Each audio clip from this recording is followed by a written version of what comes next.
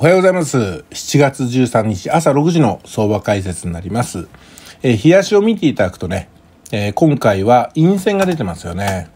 陰線が出ているからといって上昇トレンドが終わったわけではなくて、やっぱりね、上昇に少しずつ傾きを出してるわけですよ。まあ、ここまでのね、角度はないですけどね。ただ全体的には右肩上がりは全く変わってないってことを確認しておきましょう。で、4時間の方を見ていきます。今週はね、137円を突破するかどうかってことを考えていこうと思ったんですけども、月曜日にあっという間に突破しちゃいましたよね。で、今度はね、138円に達するかどうかっていうところにテーマが変わっていくわけなんですけども、この4時間を見ていただいてわかるように、まずはね、この三角形をあの、ブレイクして上昇の方面にぐーっと向かっていったというところ。そこに参院選のファンダメンタルも入ってきて、えー、大きく値段を上げたわけなんですよね。ただ一旦ここで、えー、調整が入ってます。まあこの後またね、上昇していくと思いますけどもね。その辺のメカニズムを1時間でお話しておきます。はい。で、これが1時間なんですが、えっと、注目すべき点はここです。ここを破ると、上昇ブレイクが起きるよってことで、今週お話してきました。で、結局、ここで上昇ブレイクが起きてね、月曜日。えー、最高値ではここに来てるわけなんですよ。本当に137円の800あたりまで来てるんで、このまま138円に行っちゃうんじゃないかなと思いましたけどもね。ただそこから利益確定も進むわけですから、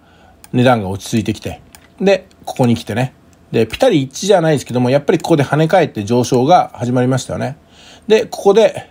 ね、15分足を見て利益を取っていけたよねってのが昨日の話です。で、昨日の、本当に絶妙だったのは、19時あたりからね、値段を随分下げてきて、それこそここを今度は逆に突き破ったわけですよ。レジサポラインを突き破って下の方に行っちゃいましたから、このあたりでね、難品をした方もいると思いますけども、その難品っていうのは全部ロスカットにあっちゃうっていうことが、ここでお分かりいただけたんじゃないかなと思います。こういう時っていうのは回復するのを実際に、あの、見るまでは、もうポジション取らないってことなんですよ。で、サンバガラスをはじめ、随分回復してきたでしょ、今回。こういう風にね。で、今136円の825ですから、137円の水準に回復したと言ってもいいでしょう。ただこの後ってのは伸びたまんまここを跳ね返っていくのかね。それともやっぱり突き破って、あの、いわゆるブレイクの状態に入るのかってことを見ていかなくちゃいけませんから、今日はそこがポイントになると思います。よろしいですか？ここの、ここのポイントが生きるわけですよ、今でも。うん137円の105ですか？この辺りを、えー、突き破って上昇にブレイクするのか、それとも跳ね返って、今一つ、この辺りのね、水準をキープするのかっていうところが、